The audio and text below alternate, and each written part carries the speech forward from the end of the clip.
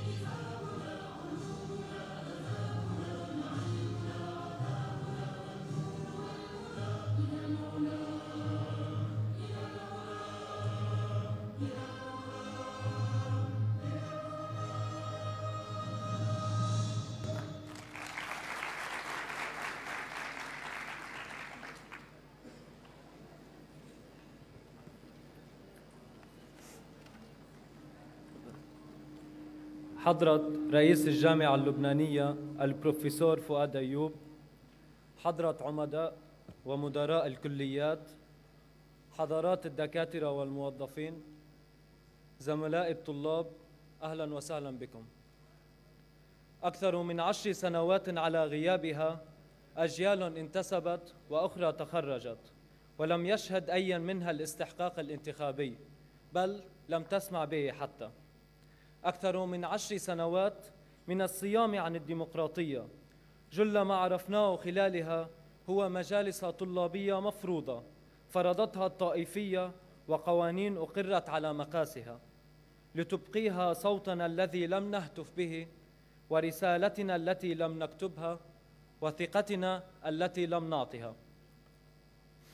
إننا كطلاب في الجامعة اللبنانية نواجه الكثير من المصاعب والمحن خلال السنوات التعليمية بسبب المناهج القديمة والصعبة التي لا تواكب التطور.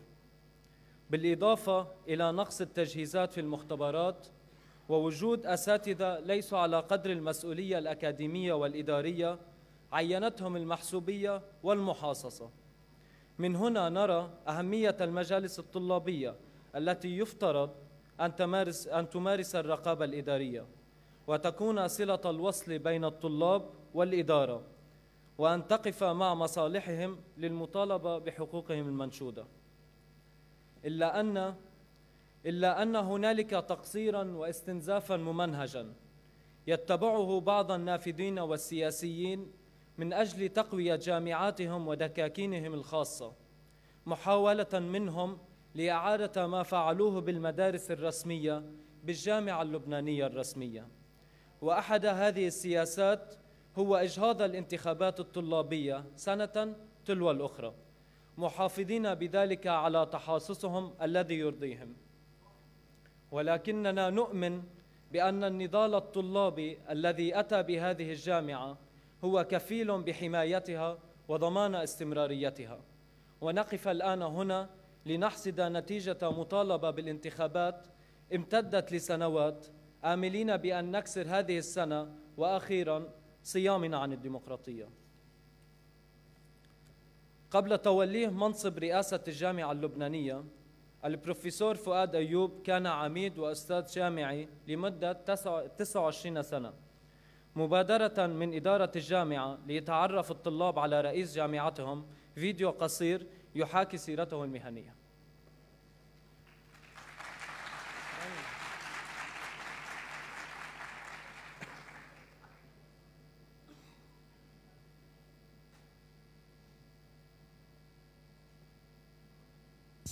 كثر.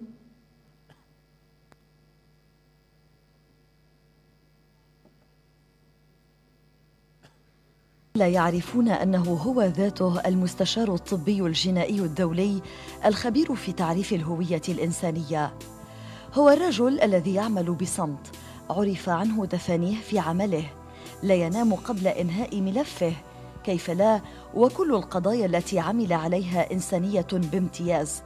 إنه رئيس الجامعة اللبنانية البروفيسور فؤاد أيوب. هو طبيب أسنان حائز دكتوراه فلسفة في العلوم الطبية بي اتش دي اختصاص الطب الشرعي وحائز على شهادة التدريب الدولي في إدارة مسرح التفجير وتولى عمادة كلية طب الأسنان في الجامعة اللبنانية حتى انتخابه لتولي منصب رئاسة الجامعة. البروفيسور أيوب مستشار طبي جنائي دولي خبير في تعريف الهوية الإنسانية في المؤسسة الدولية لخدمات الطوارئ والكوارث مكتب لندن. وله العديد من براءات الاختراع والأبحاث المنشورة في مجال تعريف الهوية الإنسانية وفحوص الحمض النووي إن اي للبروفيسور أيوب إنجازات أكاديمية عدة فهو من وضع برنامج تدريس مادة طب الأسنان الشرعي في كلية طب الأسنان لتكون الجامعة اللبنانية أول جامعة في العالم العربي تدرس هذا الاختصاص على مستوى الحلقتين الثانية والثالثة. أسس أول ماستر في الفحص الطبي الجنائي وإدارة مسارح الجريمة والكوارث في كلية طب الأسنان. ووضع برنامج تدريب جنائي للقضاة والمدعين العامين والمحققين الجنائيين في الدول العربية. كما شارك في وضع مشروع القانون الخاص بفحوص الحمض النووي في لجنة تحديث القوانين ولجنة الإدارة والعدل في مجلس النواب.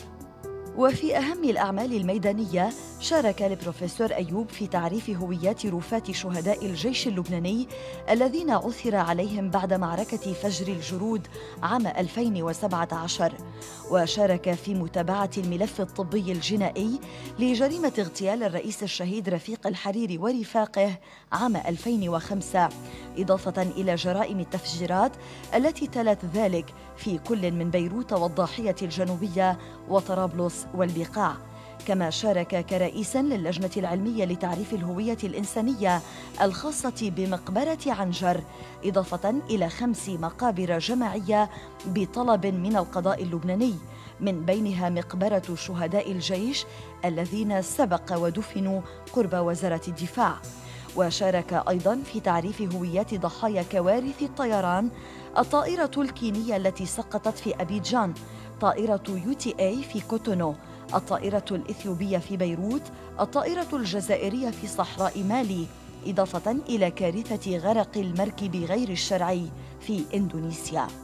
نال البروفيسور أيوب عددا كبيرا من الجوائز نذكر منها جائزة مهرجان الرواد العرب في القاهرة وشهادة التقدير المرتبة الأولى من معرض إنجازات البحوث العلمية في اليونسكو بيروت عام 99 جائزة قانا العلمية للاختراعات المعتمدة دوليا من نقابة أطباء الأسنان في لبنان عام 2005 جائزة UN Staff Excellence Recognition Award من الأمم المتحدة عام 2009 جائزة أفضل بحث علمي في طب الأسنان من جامعة كليات طب الأسنان العربية عام 2014 وللبروفيسور أيوب عشر براءات اختراع بينها خمسة يتم استخدامها بشكل كبير حتى اليوم وسبعة وثلاثون مقالة بحثية نشرت في مجلات علمية عالمية محكمة من بينها 27 مفهرسة في بابميد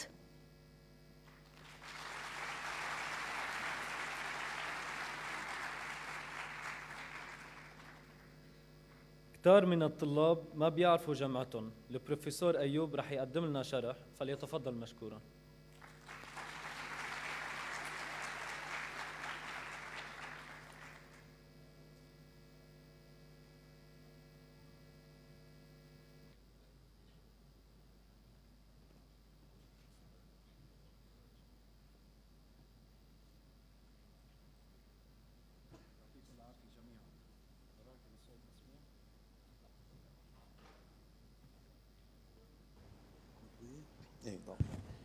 مش الحال. يعطيكم العافية جميعا. أنا مسرور للغاية اليوم. مباشر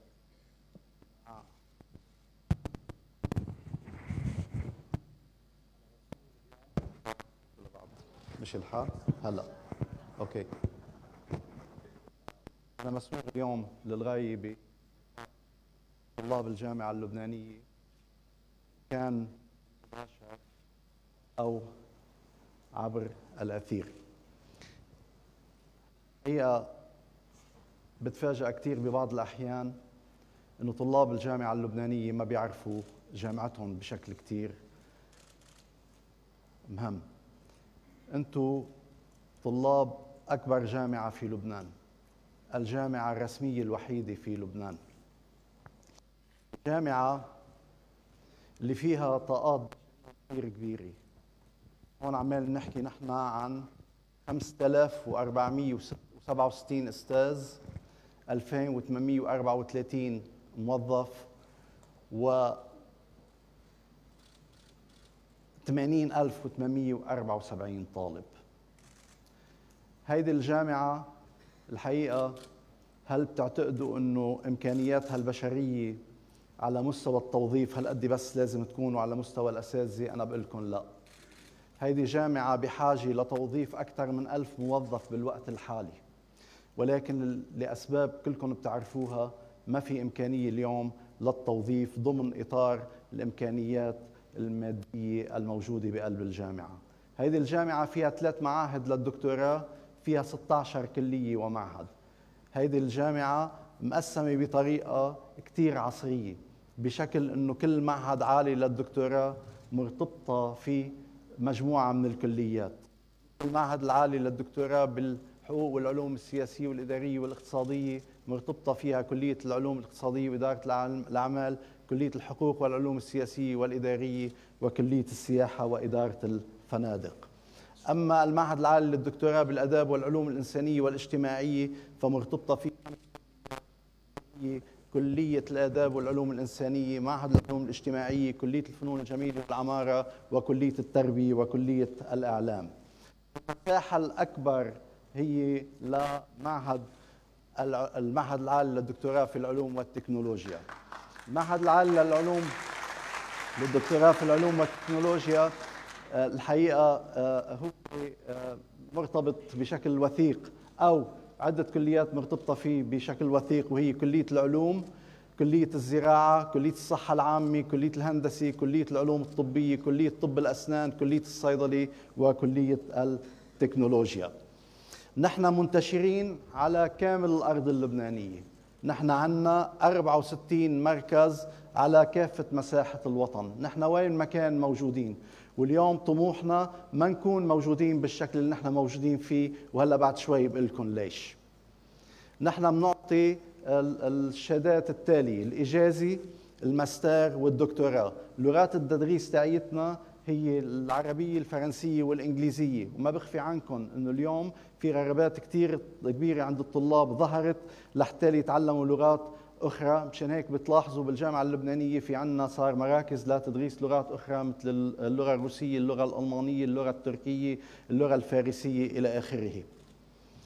عندنا نحن آه، بمجال الإجازة عندنا 163 آه، شهاده بمجال الماستر عندنا 383 شهاده بمجال الدكتوراه عندنا 57 اختصاص.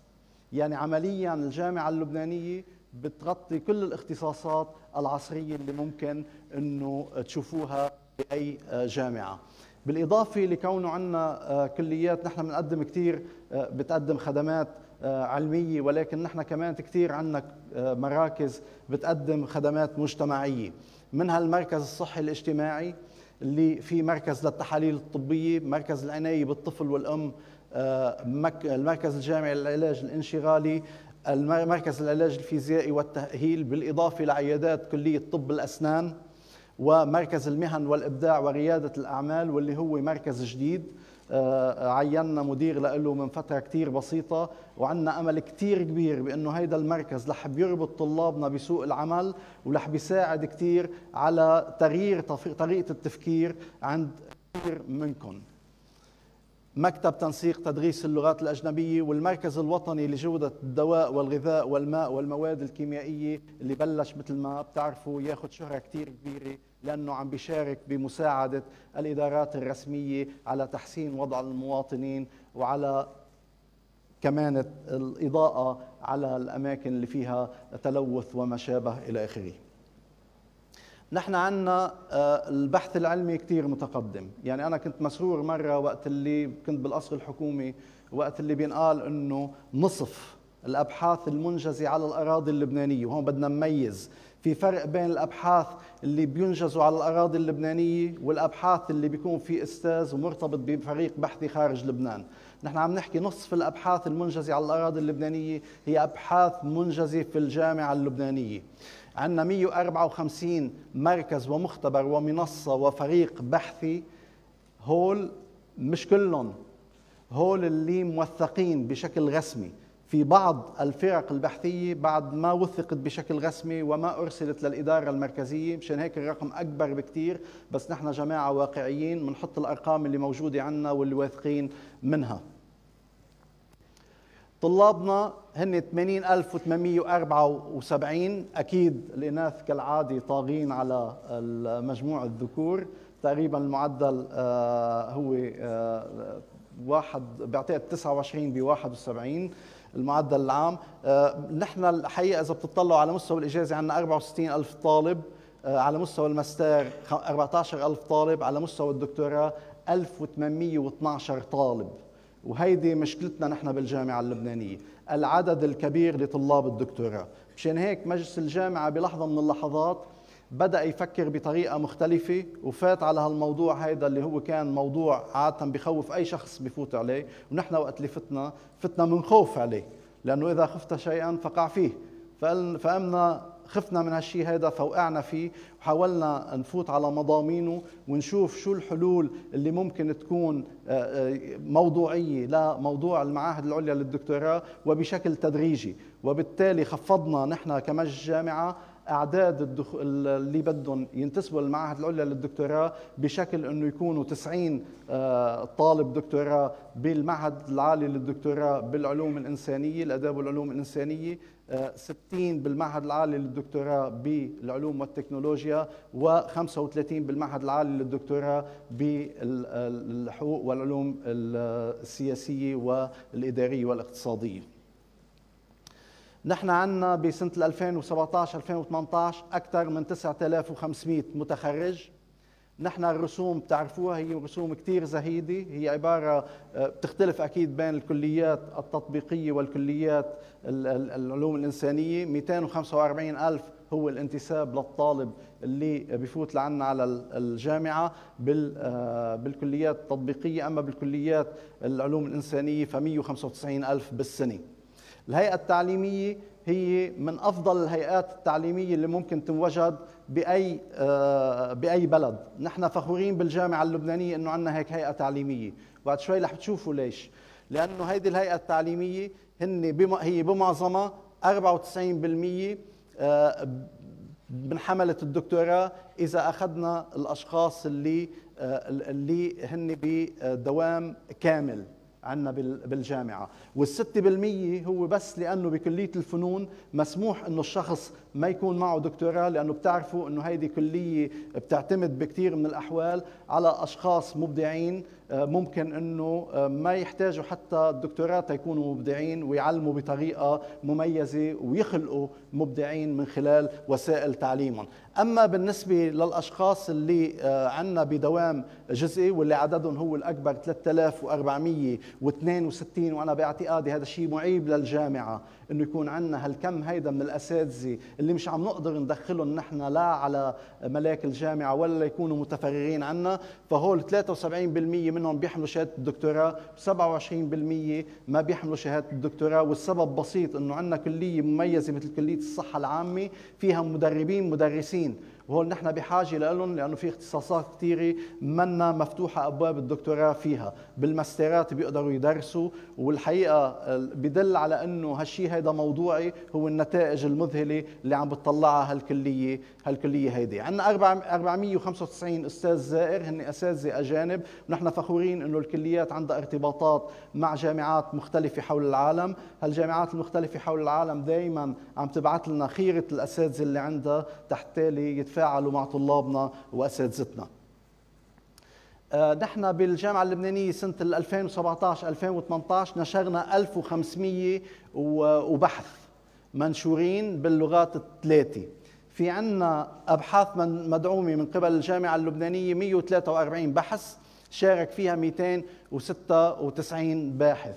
أنا اللي بدي أقول لكم إنه نحن ما عندنا سياسة صحيحة لدعم البحث العلمي. سياسة وطنية صحيحة. لو في سياسة وطنية صحيحة ما كانوا بيعطونا بس مليون دولار بالسنة للبحث العلمي.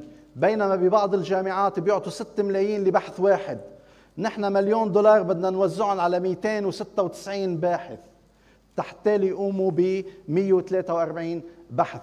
أنا اللي بدي أقول لكم إياه إنه الأساتذة اللي عندنا مميزين لأنه أساتذة باحثين. ال 143 بحث هن جزء بسيط من ال 1500 وبحث. يعني معناته عندنا أساتذة بيبحثوا من مالهم الخاص. مشان هيك عمال بقول لكم هيدا شيء معيب. ما بيجوز إنه الجامعة اللبنانية تستمر بهالشكل هيدا. ما بيجوز إنه مجلس الجامعة من الوفر اللي حققه من هون وهون ينقل من اعتماد لاعتماد السنة الماضية 825 مليون تحت تالي يدفع بالبحث العلمي ويساعد الأساتذة تحت تالي يمارسوا البحث هيك بشكل مريح. جامعة من دون باحثين علميين مرتاحين ما بيدفعوا من مالهم الخاص ما بتقدر تستمر. مشان هيك بعد شوي رح بتشوفوا إنه سياسة الجامعة رايحة بهذا الاتجاه، نحن كجامعة لبنانية عم نحاول كمجلس الجامعة نشد الأحزمة، وأنا هون بشكر الأساتذة كلهم لانهم وقفوا مع الإدارة الجامعية بسياسه شد الأحزمة، يمكن البعض حس منه بحس حاله إنه مظلوم، أنا باسم مجلس الجامعة بعذر من كل واحد حس حاله مظلوم أو مغبون بمكان ما، بس كان في ضروري، كان في ضرورة لأنه إذا ما شدينا الأحزمة ما ممكن كنا ننتهي من العجز المالي اللي نحن موجودين فيه، ونحن قدرنا كمجلس جامعه حققنا آه، خفض للعجز المالي بقلب الجامعة بنسبة 60% خلال حدود 31 12 2018 نحن حابين إنه بسنة 2019 بالتعاون مع كل أساتذة الجامعة وأهل الجامعة إنه كمان نحاول نصفر ال 40% تحت تالي سنه 2020 سنة 2020 ننتقل لجامعة مش ملقنة لجامعة تتعاطى البحث العلمي بأفق الواسع. وهون عم بحكي عن شراكة عم بحكي عن شراكة بين الأساتذة وبين الطلاب لأن الطلاب هن شركائنا بالبحث العلمي. لا بل أكثر. أنا بقول لازم نشارك كمان الموظفين بالبحث العلمي. ليش لا بمجال الإحصاء؟ ليش لا بأي مجالات؟ وخاصة أولئك العاملين بمختبرات مختلفة. نحن كنا ننشر بالجامعة اللبنانية كثير. ولكن الحقيقة ضمن إطار سد شد الأحزمة نحن وقفنا النشر الورقي. البعض بيعيب علينا هذا الأمر بس نحن منا قادرين. نحن عندنا عجز كثير هائل. نحن بدنا نروح باتجاه إنه يصير في عندنا وفر بمكان معين تحتاج نوجهه باتجاه آخر، لأنه قبل ما نصفر العجز اللي عندنا صدقوني ما فينا ننطلق بالجامعة. الانطلاقة اللي بيحلم فيها كل طالب منكم واللي عم بينفذها مجلس الجامعة الحالي. عدد المنشورات الورقية حتى العام 2017 259 كتاب.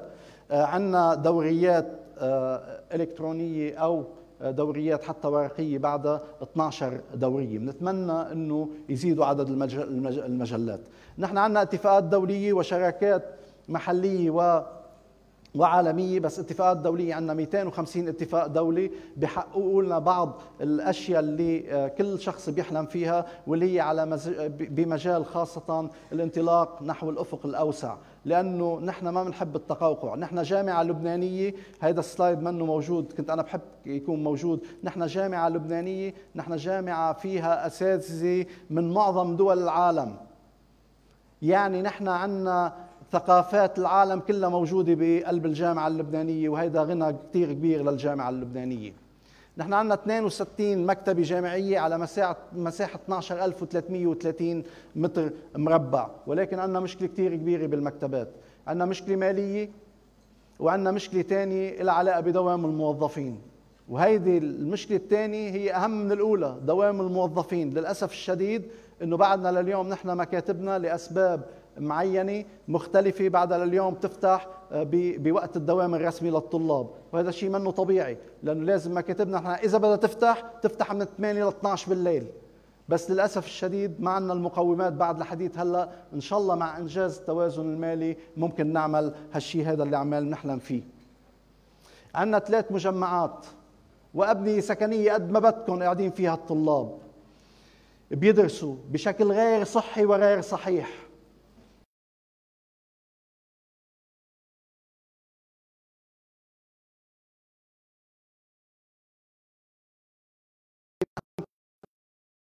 قريبا جدا ان شاء الله بدنا كل الكليات المحيطه الفروع الكليات المحيطه فيه رح بتكون موجوده آه، فيه باتفاقيات وشراكات مع احدى المؤسسات. وصحيح نحن فخورين بالمبنى بالمباني الجديدة اللي موجودة بمجمع الرئيس العماد ميشيل سليمان بالشمال ولكننا منا فخورين ابدا. ولا واحد بمجلس الجامعة من بيناتنا فخور إنه في كثير من الطلاب بيدرسوا بمباني سكنية غير مؤهلة وغير صالحة أصلا تحت تالي يتعلموا فيها طلاب بشكل صحي وصحيح مثل ما قلت لكم. مباني صارت مهترئة مباني غير صالحة لأي شيء بس الإمكانيات قليلة وما بنقدر هلأ نعمل شيء لأنه بإحدى المقالات بإحدى الجرائد انكتب الضرب بالميت حرام. مزبوط الضرب بالميت حرام. كيف مبنى أصلا أصلا هو بوضع مذري بدنا نضلنا ندفع فيه مصاري وبنستثمر مشان هيك المجلس الجامعة خطى خطوات استثنائية من سنة 2017 وخطوات استراتيجية. وقت اللي وافق لأول مرة بأنه ينمشى وبسرعة باتجاه إنشاء مجمعات بكل المناطق اللبنانية أينما كان. والحقيقة اليوم أنا بدي أقول لكم شيء ما عاد سر هو إنه كمان نحن رايحين باتجاه مناطق ما كنا فيها موجودين بوقت سابق. عم نحكي هون عن عكار عم نحكي عن بعلبك الهرمن الهرمل وعم نحكي عن جبيل. ولكن بكل الأحوال اوعكم تفتكروا إنه مجلس الجامعة لم يخطط بشكل جيد لهذه الأمور. ابدا مجلس الجامعة شكل بخط بشكل كثير جيد.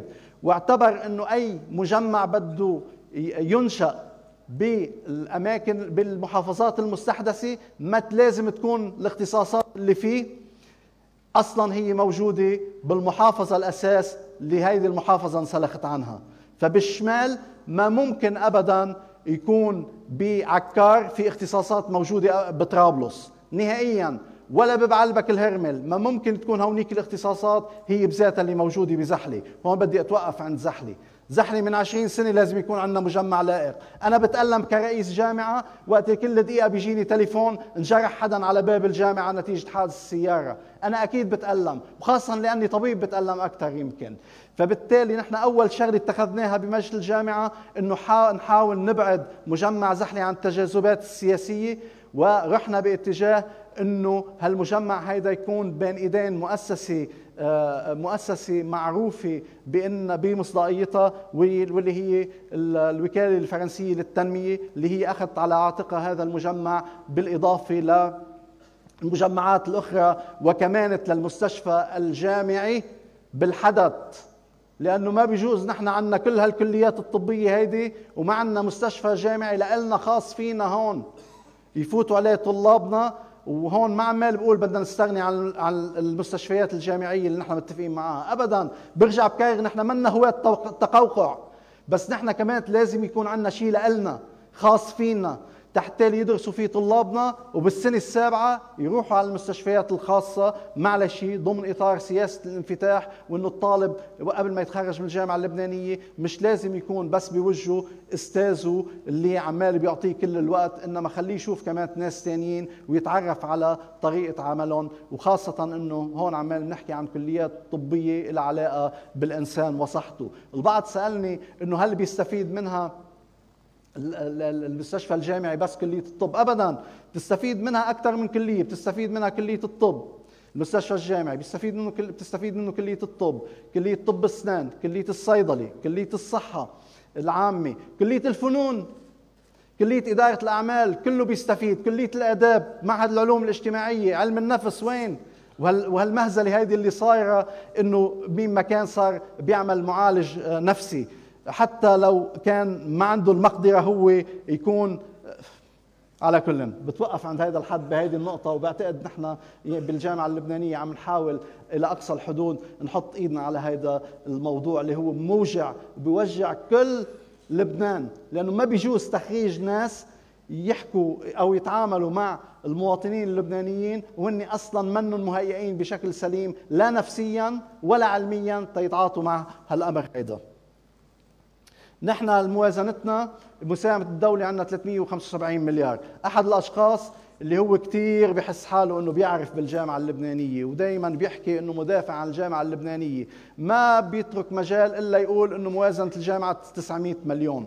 يا عمي لو موازنة الجامعة 90 مليون 900 مليون دولار كنا فرجيناكم ما يدهش العالم. نحن موازنتنا ما بتتعدى 300 250 50 مليون. ونحن الحقيقة السنة الماضية خفضوا لنا إياها بس أنا باعتقادي هذه الجامعة ما لح حدا رح بيخجلوا يخفضوا لها السنة. شو الأسباب؟ لأنه كثير بمجلس الوزراء هن أساتذة عنا أو خريجين من عنا بتصور بيعرفوا قديش الجامعة احتياجاتها وقديش لازم تنعطى لازم ينزد لها ما يتنقص منها. نحن الحقيقة أهميتنا كجامعة وطنية بمجلس الجامعة إنه بنعرف نقاط قوتنا ونقاط ضعفنا. وهيدي الشغلة هي اللي أخذتنا باتجاه الاعتماد المؤسسي. لأنه نحن لو ما بنعرف نقاط قوتنا ونقاط ضعفنا ما كان الاعتماد المؤسسي تاعنا أنجز ب 18 شهر بسرعة هائلة. نحن مثل ما بتعرفوا أخذنا الاعتماد المؤسسي خلال 18 شهر لثلاث سنوات مع توصيات وهالتوصيات هيدي كليتها نحن رح نمشي فيها. تحتالي بعد ثلاث سنوات ناخذ نكمل الاعتماد لحده الأقصى اللي هو خمس سنوات. الاعتماد نحن منا ملزمين فيه كجامعة لبنانية. نحن رحنا على الاعتماد المؤسسي طوعا. نحن المؤسسة الرسمية المؤسسة الرسمية عادة ما بينطلب منها تعمل اعتماد. ولكن نحن بدنا نروح نحو الأفق الأوسع نحو العالمية. فمشان هيك لازم يكون في عندنا اعتماد مؤسسي ونحن كان سنة 2018 هي سنة الاعتماد المؤسسي سنة 2019 هي سنة اعتماد البرامج في كافة كليات الجامعة اللبنانية وهيدا مشروع لكذا سنة لقدام.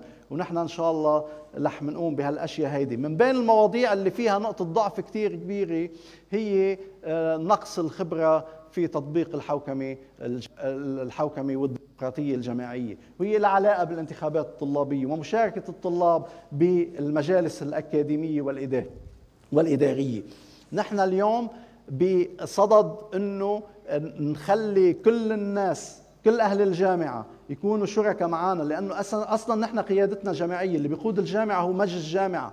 مجلس جامعة بيمثل كل الكليات وكل الأساتذة بس ناقصنا بعد الطلاب يكونوا شركاء لنا ما تتصوروا قديش بيريحونا الطلاب وقت اللي بيكونوا شركاء معنا بالعمل الأكاديمي والإداري. أنا يعني ما بدي أحكي كثير أكثر من هيك لأنه طولت يمكن عليكم. بدي لكم أنه نحن خطتنا واضحة. خطتنا إلى علاقة بأنه نكمل بعد نيل الاعتماد المؤسسي اعتماد البرامج بكافة الكليات. نحن خطتنا واحد واضحة لجهة تفعيل المجالس الطلابية في كافة الكليات والمعاهد وإنشاء الاتحاد الوطني الخاص بهم. هيدا مجلس الجامعة بآخر جلسة بشكل مجتمع وبصوت واحد قال إنه هيدا الشيء لازم يحصل وما في مجال ما يحصل لأنه ما فينا نستمر من دون تفعيل المجالس الطلابية. بالإضافة لتشجيع إنشاء روابط خريجي الجامعة اللبنانية وأنا بدي لكم إنه مجلس الجامعة أنشأ مكتب للخريجين وإن شاء الله رح نفعله قريبا جدا.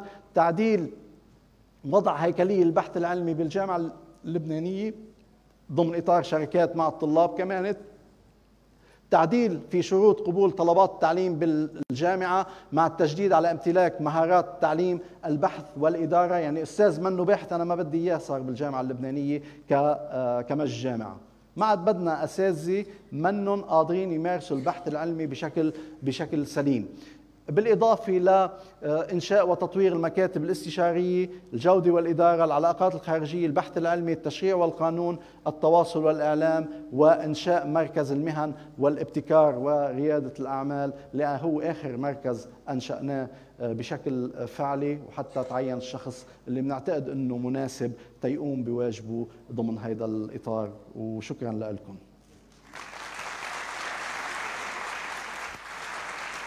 إن شاء الله ما اكون طولت كثير عليكم.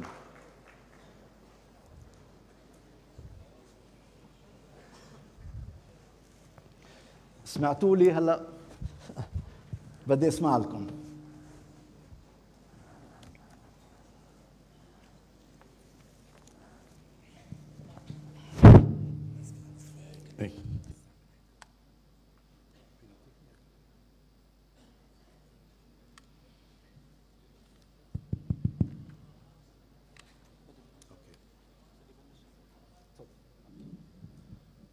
حنبلش الحوار عن الانتخابات المجالس الطلابية. فأي حدا عنده أسئلة يتفضل.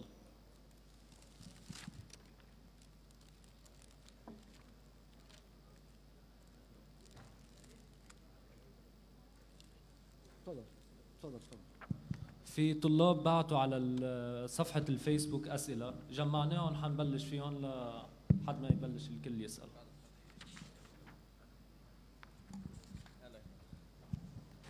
أول سؤال. بروفيسور. يلا. هل الهيمنة السياسية والطائفية على الجامعة لعبت دور بعدم القيام بالانتخابات؟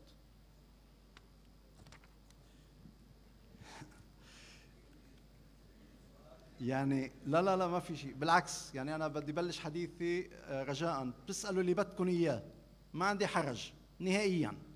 اللي بدكم إياه وكيف ما بدكم ما عندي حرج بالإجابة على أي سؤال من اسئلتكم أنا يعني آه، اليوم فخور باللقاء معكم وقبل ما جاوب على هذا السؤال بدي أقول لك إنه كمان فخور آه، عندي داتا هون بين إيدي بإنه بمجلس الوزراء الحالي في عندنا ثمان وزراء يا إما أساتذة يا إما آه، طلاب من خريجي كانوا طلاب يعني من خريجي الجامعة اللبنانية.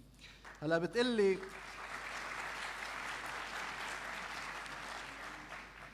بتقلي إنه بالسياسي آه، تم تأجيل الانتخابات آه، بشكل دائم ومستمر.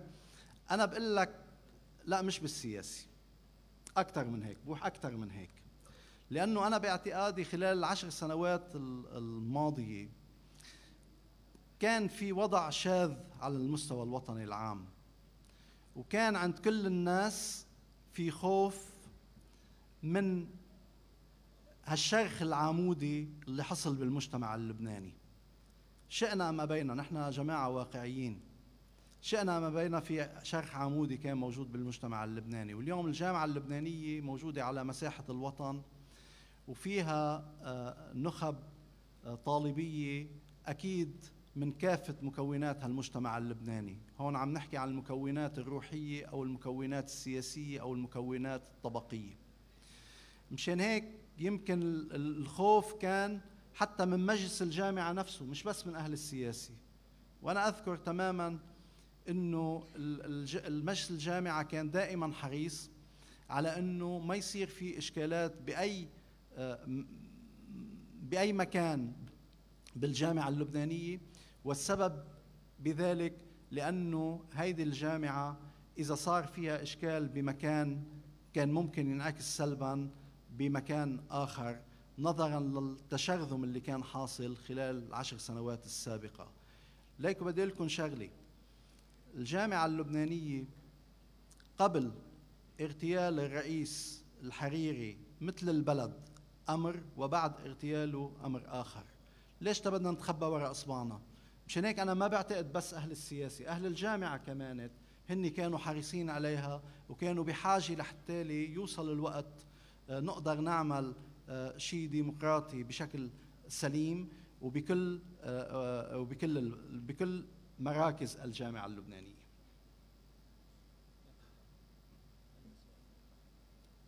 أي سؤال؟ يعطيك العافية بروفيسور. آه، أنا سؤال كتير واضح ومباشر هون هون بوجهك دغري. لا ماشي الحال بس أنا مشكلتي ما بشوف منيح. بس هاي المشكلة. على كل. آه، بسنة 2008 بهذا المجمع صارت آخر انتخابات طلابية. أيوة. بسنة 2012 الرئيس السابق آه، طلع مذكرة إدارية قال إنه المجالس الطلابية آه، لازم تكون منتخبة من الطلاب ولكن ما في قدرة لهذا الشيء والمجالس تجدد لنفسها بمن وجد من أحزاب وما إلى هنالك على أساس نعمل انتخابات بالعام اللي بعده يعني 2013 إذا سمحت الفرصة. فالسؤال هو التالي. صار ماري تقريبا شي ست سبع سنين على الخبرية. اليوم. هلا نحن في مجالس طلابية بكذا وحدة إدارية وبكذا كلية تمارس مهامها من مطبوعات إلى التواصل مع إدارة إلى غيره. هالمجالس هي قانونية إيه أو لا؟ بس بدون أكثر من هيك. لنحن نعرف موقعنا من هيدي المجالس. شكرا لك. يعني أنا بعتبر إنه أي شيء صادر عن الرئيس السابق هو قانوني. وبتستمر قانونيته في حال ما صدر شيء جديد. هلا بتقلي شرعي بقول لك يمكن مش شرعي. قانوني؟ إيه قانوني لأنه في شيء طالع عن معالي رئيس عدنان السيد حسين بوقته فبالتالي لا أنا بعتبره قانوني. هلا اليوم اختلف الوضع. اليوم بدي يكون وقت اللي بقول بدي يكون يعني مجلس الجامعة قصدي لأنه أنا بمثله فنكون واضحين بالكامل مع الجميع. مش برضانا نحن بدنا نعمل انتخابات طلابية. مش برضانا. غصبا عنا. نحن من شروط الاعتماد هو مشاركة الطلاب بالحياة الجامعية كاملة. والحياة الجامعية مش هي إنك تجي أنت على الجامعة وندرسك. ابدا. ليكوا أعزائي نحن شركاء. طلاب موظفين أساتذة نحن شركاء. بيزعل مني الرئيس السابق للرابطة وقت اللي كنت دائما أقول له أنا بالنسبة لي الطلاب أهم من الأساتذة والموظفين. كنت تزعل مني دائما فأنا برجع بكررها لأنه نحن أصلا الجامعة منا موجودة لو ما الطلاب. ونحن الأساتذة منا موجودين لو ما الطلاب. والموظفين منهم موجودين لو ما الطلاب. أنتم جزء من أهل الجامعة وضروري تكون مشاركتكم فعالة وبرجع بكرر الانتخابات ستحصل مش برضانا غصبا عنا.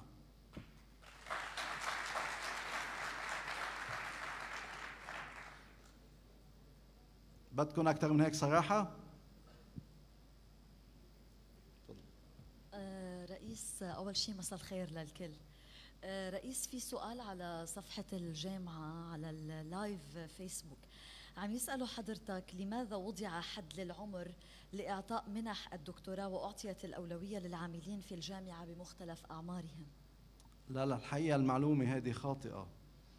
أه بس تحتالي أقول يعني نحن شوي رحنا للموضوع آه، بطريقة قربناه بطريقة مختلفة بمجلس الجامعة.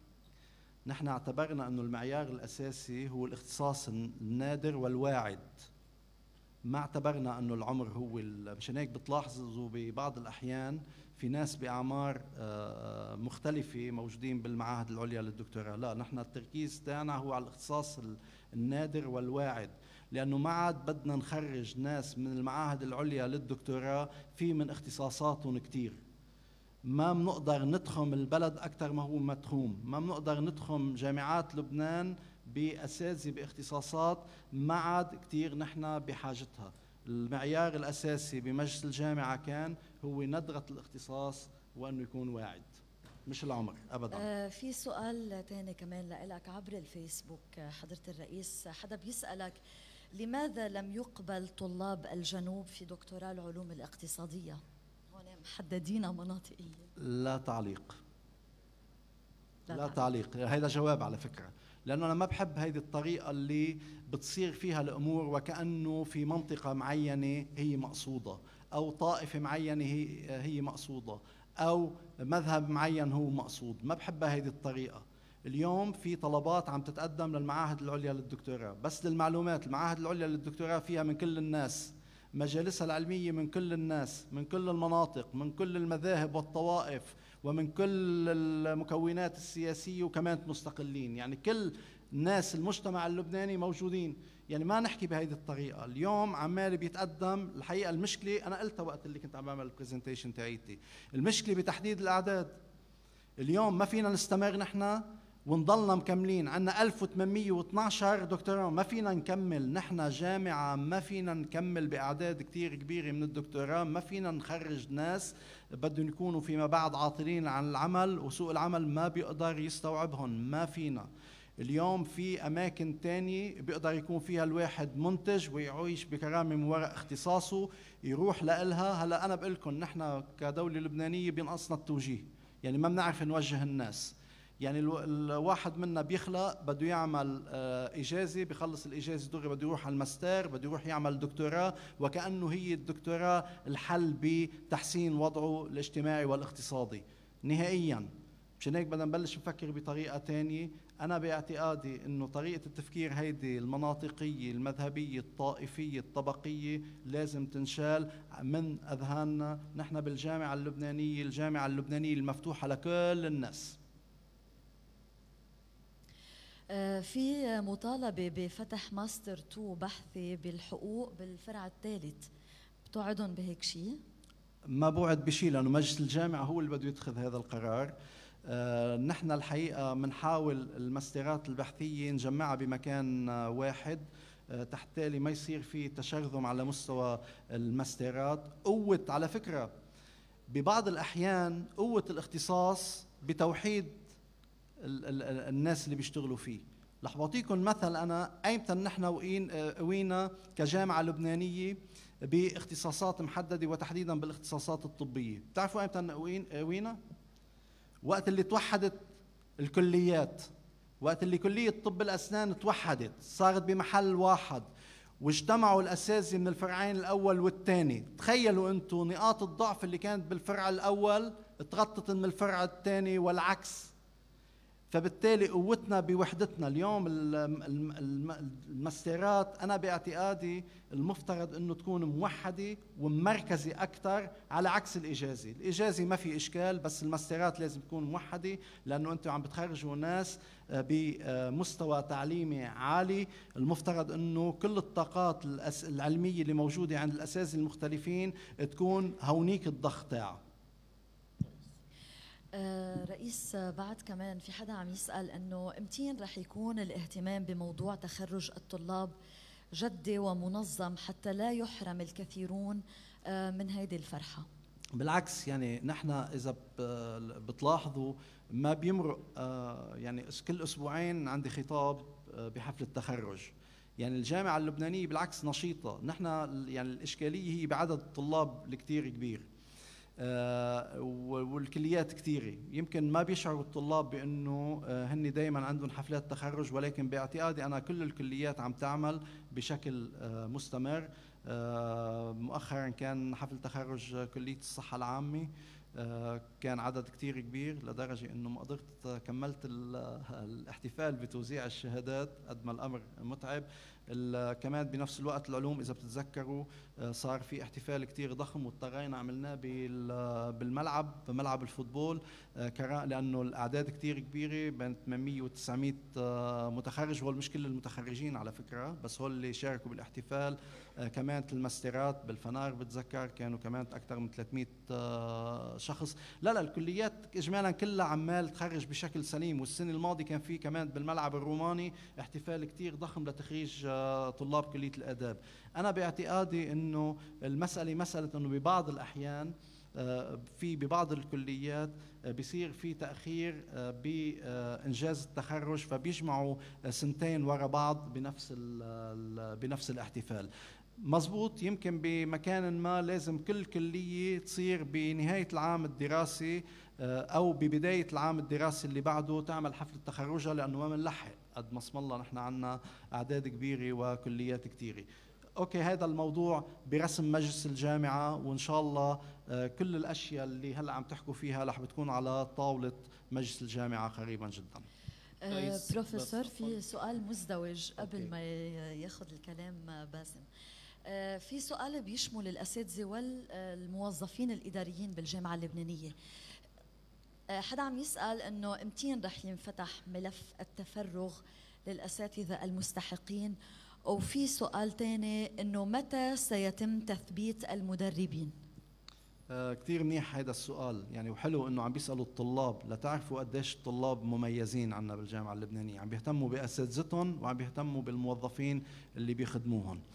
على مستوى التفرغ أنا قلت بالبرزنتيشن تاعيتي من المعيب إنه يكون عندنا كم كثير كبير من الأساتذة المتعاقدين بالساعة. ومثل ما بتعرفوا مجلس الجامعة دخل على هذا الملف آه، من فترة طويلة من حوالي آه، أكثر من سنة أكثر من سنة أكيد مش سنة ونص.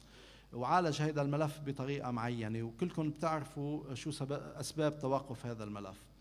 آه، مجلس الجامعة من جلستين من جلستين بعتقد انحكى فيه عن إنه المفترض إنه هلأ صار في حكومة المفترض يبلش مجلس الجامعة يشتغل على الموضوع مجددا.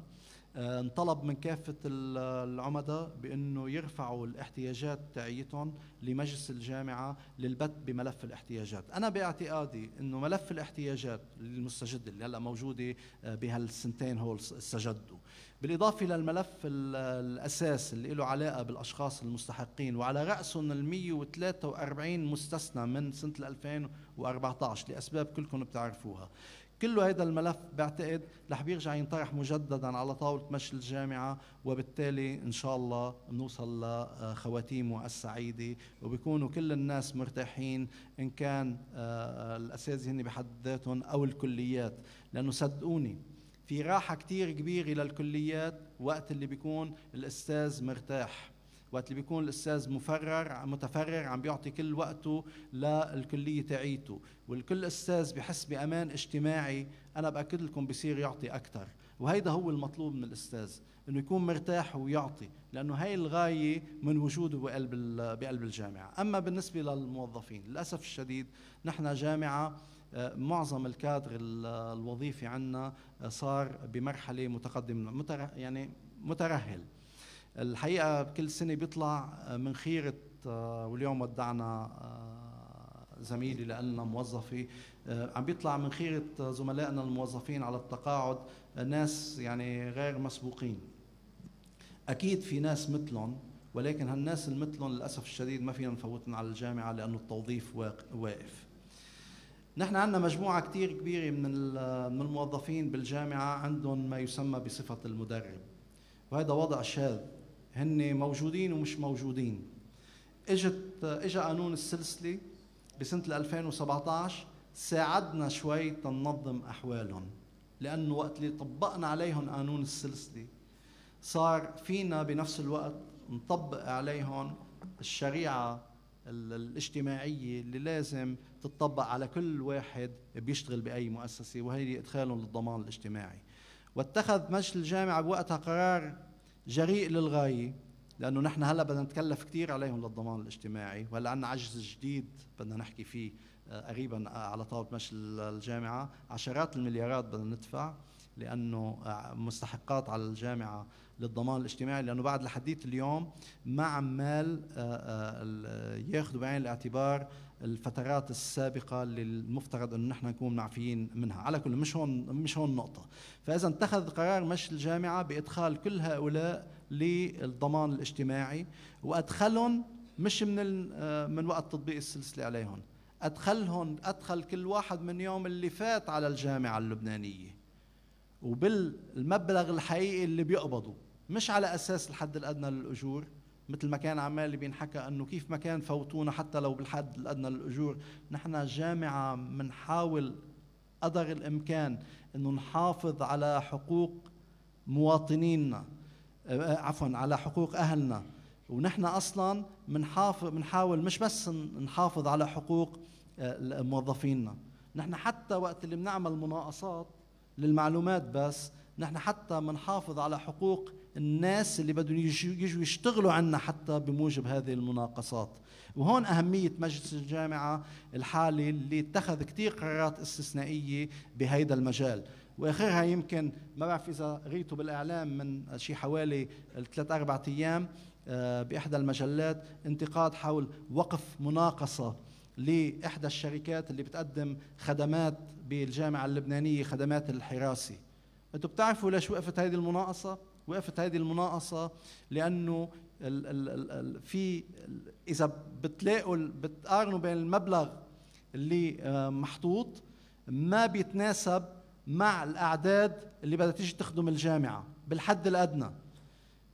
يعني الموظف ما رح بياخذ حقوقه ما رح بيقبض معاشه بالكامل أكيد لأنه حتى معاشه لحاله ما بتغطي هذه المناقصة كانت بالطريقة اللي رسيت ولا رح بيكون مضمون بالضمان الاجتماعي. مجلس الجامعة اتخذ قرار استثنائي. أنا الحقيقة بنحني أمام هذا المجلس.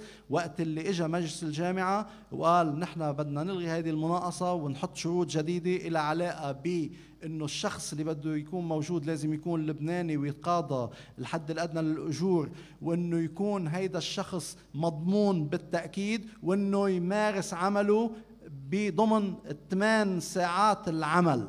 يعني نحن وقت اللي بنشتغل كمجلس جامعة بنشتغل كرامة الإنسان وبنشتغل كرامة نحافظ على حقوق الإنسان. فكيف إذا كان هالشخص هيدا عم بيخدمنا بقلب الجامعة وهو موظف عنا؟ فبالتالي كان إدخالهم للضمان بطريقة كتير جيدة وعادلة لإلهم وللجامعة في نفس الوقت. ونحن بصدد هلأ مجلس الجامعة حكي بالموضوع بصدد إنه نشتغل على إجراء مباراة آه، محصورة لإلهم آه، تحت تالي نقدر نثبتهم بمواقع معينة لأنه في شرور كثير هائل بالإدارة والمدربين ما بيقدروا ياخذوا هالمراكز هيدي مثل مثلا المراكز اللي لها علاقة بالمحاسبة وما شابه.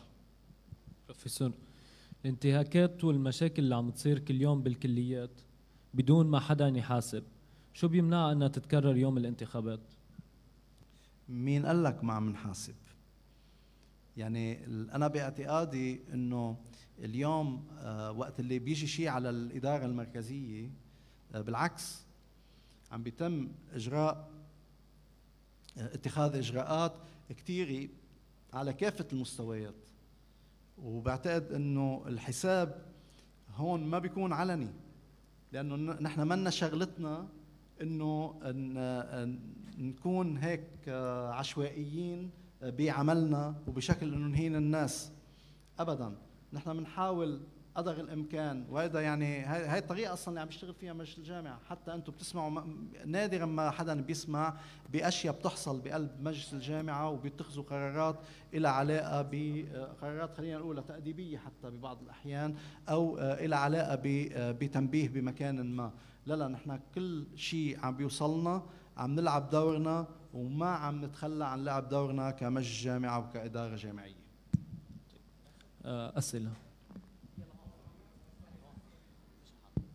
يعطيك العافية. أهلا. آه، السؤال الأول بما يخص الانتخابات. هل تم التشاور مع مجلس الجامعة قبل الإعلان عن الانتخابات الطلابية؟ هيدا اولا.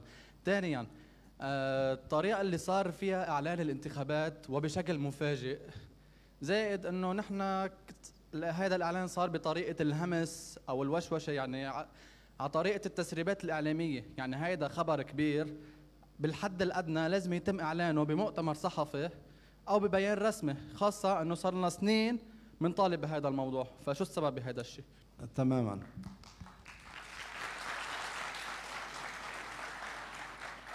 تماما. نحن الحقيقة يمكن آه، البعض بياخذوا علينا آه، خجلنا بالتعاطي مع الوسائل وسائل الإعلام. نحن كثير بنحب الإعلام ووسائل الإعلام ولكن كثير بنشتغل. مشان هيك أوقات كثير الوقت بياخذنا نحن وعمال بنشتغل. ما تصور قديش الأعمال الإدارية بتاخذ من وقتنا.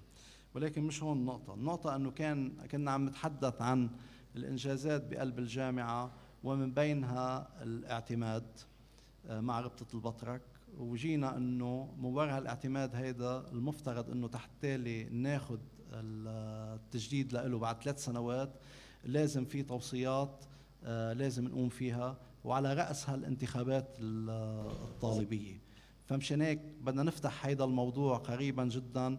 والمفترض وحلمنا إنه يا ريت لأنه مرق هو عادة بتشرين الثاني بتنعمل دائما الانتخابات. مرق تشرين الثاني قلنا يا ريت بنقدر نعمل هالانتخابات هيدي بشهر آذار. الحقيقة بنفس الوقت اللي تناول الموضوع وس... تناولت الموضوع وسائل الإعلام ضري طلع بيانات مختلفة من أطراف آه، مختلفة.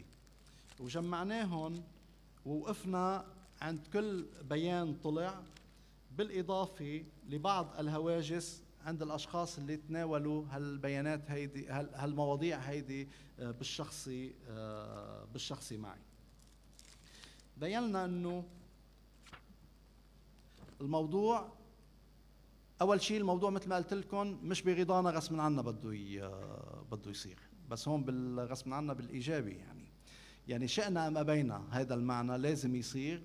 لأنه من دون انتخابات طالبية نحن بنكون التوصيات آه، ما نفذناها بالكامل. فالمفترض ننفذها. نحن فتنا على مجلس الجامعة وطرحنا هذا الموضوع. ومجلس الجامعة أخذ بعين الاعتبار كل الهواجس اللي موجودة واللي طلعت بوسائل الإعلام المختلفة ومثل ما قلت لكم من جهات مختلفة. عم نحكي عن جهات سياسية وجهات مستقلة. آه، وقت اللي انحكى بالموضوع مجلس الجامعة نلقى إنه أفضل طريقة أول شيء بدي أكد لكم إنه مجلس الجامعة كله بشكل آه، بصوت واحد أعلن إنه بده الانتخابات الطالبية ما في مجال.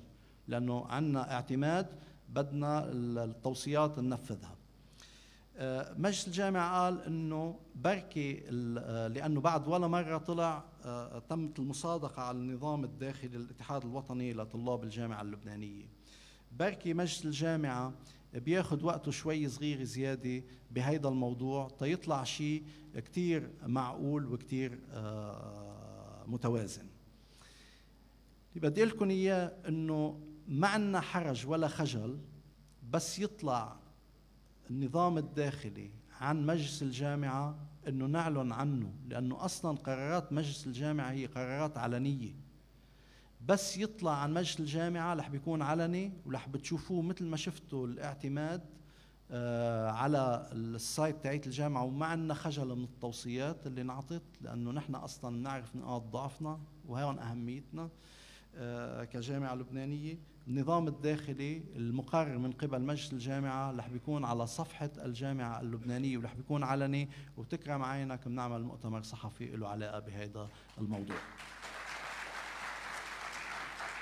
أهمية أهمية ال ال ال الشيء اللي صار بوسائل الإعلام بأنه ضوالنا على نقاط نحن هيك بنعرفها ولكن حبينا كمان إنه نسمعها من من الآخرين. هالمطالب هيدي تبين لمجلس الجامعة إنه ما بيقدر يحققها مثل ما آه بده هو مجلس الجامعة إنه تكون الانتخابات سريعة آه تنلحقها هلأ. مشان هيك تحتاج نحضرها لهالمطالب هيدي. واللي هي كثيره والموجودة منشورة من قبل آه منظمات شبابية مختلفة. آه تحتاج نقدر نحققها يبدو بدنا شوية آه شوية وقت. بس القرار بمجلس الجامعة نحن متفقين إنه حد أقصى لازم نكون وصلنا لنتائج بنهاية شهر آذار. وأهم شيء الحقيقة هو صدور القرار عن مجلس الجامعة. لأنه هيدا النظام بحاجة لقرار من مجلس الجامعة. دون قرار من مجلس الجامعة ما بيكون في شيء نافذ. ولكن بقدر أقول لكم عن الأشياء العامة اللي متفق عليها بهيدا النظام المطروح أمام مجلس الجامعة. المتفق عليه هو التالي إنه النظام النسبي يكون هو الفاعل وإنه تنعمل الانتخابات بيوم واحد. هلأ تتصير الانتخابات بيوم واحد نحن بحاجة لشركاء شركاء من خارج الجامعة اللبنانية. وهالشركاء هن الأجهزة الأمنية وعلى رأسها الجيش اللبناني واللي بإذن الله أنا بدي روح زور قائد الجيش بعد ما يصدر القرار عن مجلس الجامعة لأنه بيكون بين إيدي النظام النهائي للنظام النهائي. وكمان بنفس الوقت عندنا شريك سياسي أساسي آه، اللي هو آه، وزير الداخلية. آه، ولأنه نحن مثل ما قلت لكم قبل شوي نحن كتار. نحن أكثر من 80 ألف شخص بدنا ننتخب. وبنفس الوقت نحن موزعين على كامل الأراضي اللبنانية. آه، نحن بحاجة لمساعدة جهات خارجية بتنتمي لنا وبننتمي لها لأنه بالنهاية نحن مؤسسة رسمية كمان. فبالتالي الكل نحن بدنا نتعاون مع بعض لإنجاح هذه الانتخابات. أنا بتصور بدها تصير الانتخابات ب 53 مركز. يعني بس المحافظات الوحيدة اللي آه، ما رح بيصير فيها يعني ما رح بيصير فيها أقلام انتخابية لحد علمي هي المحافظات المستحدثة. يعني عكار وبعلبك الهرمل و وجبيل. أما بباقي المحافظات اللي فيها أصلا فروعها آه، فبالتالي هونيك رح بتصير ب 53 آه، مركز الانتخابات. مشان هيك برجع بكرر نحن شراكتنا هي أساسية مع مع الجيش ووزارة الداخلية. لأتمام هذه العملية بشكل كثير سليم. okay سؤال ثاني بروفيسور ايوب أنا بدي أحيي ال presentation اللي قدمتها. آه، فعلا بتعطي أعطيتنا معلومات قيمة عن الجامعة اللبنانية لأنه ثلاث أرباعنا تلاميذ جامعة لبنانية. ولكن لفتني بال presentation نقاط القوة. من بين نقاط القوة أنه الجامعة تتمتع بصيت حسن على الصعيد الوطني والعالمي. سؤالي بالفترة الأخيرة إعلاميا طلع الجدل عن التعيينات من حيث والخلل بالتوازن الطائفي. بالأرقام بمركز المعلوماتية القانونية من بين المدراء رؤساء الدوائر بالإدارة المركزية منسقات اللجان عدد المدربين. علما إنه حضرتك وعدت بزيارتك آه، للبطريرك الراعي بتحقيق المناصفة الطائفية بالجامعة اللبنانية. فسؤالي فأين حسن الصيت على الصعيد الوطني ما طالما الخلل الطائفي موجود؟ سؤالي مزدوج. السؤال الثاني من بين نقاط الضعف التدخل آه، السياسي السياسي والديني والسؤال هو كم تبلغ نسبة التدخلات اللي تعرضت لها من ضغوط سياسية ودينية أثرت على مسار قراراتك؟ وشكرا. أوكي أول شيء بدي بلش إنه أنا ما وعدت حدا بإنه بدي أعمل توازن طائفي في الجامعة اللبنانية. أبدا. ممكن يكون حدا تناول هيدا الموضوع عن لساني بس أنا وقت اللي كنت بزيارتي كان معي مجلس كنا نحن ومجلس الجامعة بالكامل. ابدا ابدا ابدا. ولا شخصيتي بتسمح لي إنه يطلع عن لساني هذا الكلام. لم أعد احدا بإقامة التوازن الطائفي بالجامعة اللبنانية. ابدا ابدا ابدا ابدا. لأني أنا أصلا بتركيبتي أنا أصلا بتركيبتي الشخصية مني طائفي تحتالي أوعد حدا بأنه بدي أعمل توازن طائفي، اثنين لأنه الجامعة اللبنانية جامعة وطنية تحتضن كل الناس بالاستناد لكفاءاتهم وأهلا وسهلا بكل أهل الكفاءات لأي طائفه ينتموا. اثنين أنا ما لحقت الاثنين بالنسبة للتعيينات وبالنسبة للأشياء اللي موجودة معلش خليني بدي أظهر شوي صغير من الطلاب أنا جيت على الجامعة على رئاسة الجامعة آه، مع المجلس المجلس الحالي. نحن والمجلس الحالي نحن قيادتنا للجامعه جامعيه على فكرة. نحن من المؤسسات اللي بتشتغل بشكل جماعي. بس آه، بين هالليلين العمل الجماعي بيريح كثير مجلس الجامعة وقت اللي بينظر ب آه، تعيين محدد ما بينظر على أساس طائفة الشخص إنما بينظر على أساس كفاءاته والحاجة له اليوم في مناطق معينة معروفة إنه هونيك في ناس المتواجدين أو الساكنين القاطنين بهالمنطقة هيدي ممكن يكونوا من آه، آه، طائفة محددة. طيب يعني بتمنعيه إنه يتعين بهالمكان هيدا آه، واللي هو آه، منطقة سكنه بالمحافظة اللي هو فيها لأنه هو من هالطائفة مش هيك بتشتغل الجامعة ولا هيك بيشتغل مجلس الجامعة. بالنسبة لتعيينات المدراء. تعيينات المدراء الحقيقة هي بتقوم على القانون 66 اليوم وقت اللي بيجي ترشيحات معينة من الكليات وبتطلع لرئيس الجامعة. لأنه القانون 66 بخول رئيس الجامعة إنه هو يعين من بين ثلاث مرشحين بيوصلوا له من آه، المجالس الوحدات. اليوم رئيس الجامعة واجبه ينظر للحاجه الفعلية لهالمركز أو لهالفرع. مش شغلته إنه يطلع شو طائفة الشخص. بتقولوا لي أوقات بنظر لهالموضوع هيدا إيه أوقات بنظر لهالموضوع هيدا؟ وأنا أعترف. اوقات بنظر لهالموضوع هيدا لأنه بحس إنه بيخلق حراك معين آه، بشكل أو أو بآخر. ولكن مش دائما لأنه أوقات كثيره بيكون في شخص مرشح من طائفة ثانية هو أك عنده إمكانيات أكبر بكثير من الشخص من الطائفة المقصودة واللي لازم إنه دائما يطلع المعين منها.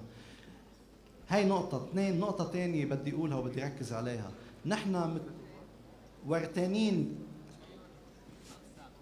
من عشرين سنة لليوم ورتانين ميراث كثير كبير لأنه في تعيينات كثير كبيرة موجودة كانت من قبل ما نجي على مجلس الجامعة الحالي على على الجامعة. فمشان هيك كيف نحن بدنا نروح بهذا الاتجاه؟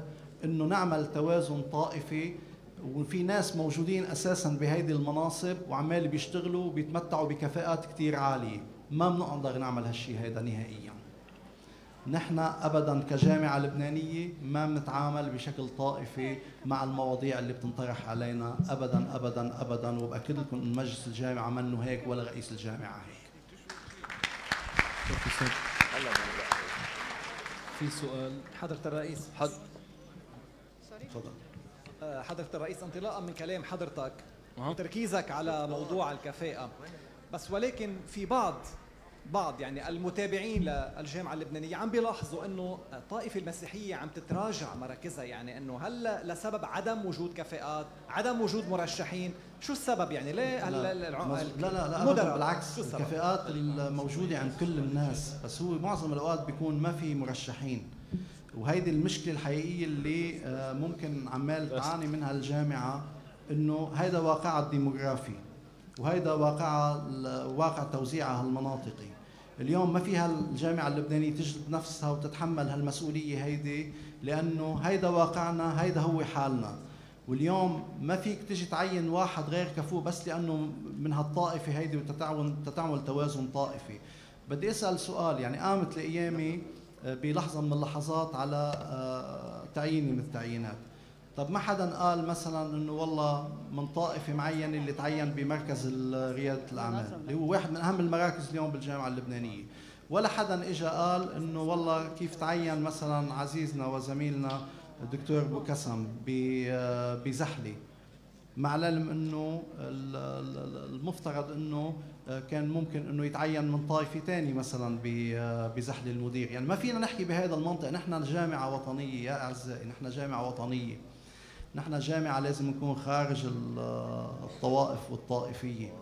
ونحن وقت اللي نفوت على الصفوف ما نميز بطلابنا بين شخص من هذه الطائفة أو من تلك الطائفة. وعلى فكرة ما كليتنا من عائلات مختلطة. ويننا نحن؟ ما كلنا من عائلات مختلطة. ما فينا نجي نعالج المواضيع على مستوى الجامعي بالمنطق اللي عمال بينحكى فيه منطق التوازن الطائفي واحد لواحد. منين بدك تجيب الواحد لواحد؟ دكتور حضرة حضرة رئيس الجامعة. بس ما عم وين أوكي نحن بدنا نسأل إذا النسبية حتكون مقنعة على صورة مثال الانتخابات النيابية أولاً. ثانياً بدنا نسأل إذا حيكون في تنظيم لعمل الأندية قبل الانتخابات بالتراخيص والقوانين. حيكون نحن إذا حيكون في انتخابات شكلية كما هو سائد في إدارات الجامعة واستبدالها بالمحاصصة الطائفية. بدنا نوه على شغلة إنه استقلالية الجامعة الإدارية من الزبائنية السياسية هي ركن أساسي لأي إصلاحات بالجامعة. أبرزها رفض أي عملية لتخفيض الميزانية كما ذكرت حضرتك خاصة إنه نحن بنعتبر الجامعة هي قطاع منتج. ثانيا معالجة قضية الأجهزة المعطلة والصيانة المقتطعة بالجامعة وخاصة الغذاء اللائق يعني مطعم مش دكانة أو حتى دكانة. ما, ما سمعت؟ الغذاء اللائق بالجامعة. غذاء للتلاميذ. آه okay okay okay, okay. طيب هلا الج... الج... الانتخابات. بلش بالانتخابات. الانتخابات أنتم اللي بتقرروا الطلاب إذا بدها تكون انتخابات مميزة ولا لا بتمثلكم ولا لا. أنتم اللي بتقرروا. لأنه أنتم عندكم حرية إسقاط الورقة اللي بدكم إياها بصندوق الانتخاب. وأنتم شو بتحطوا؟ بيطلع لكم.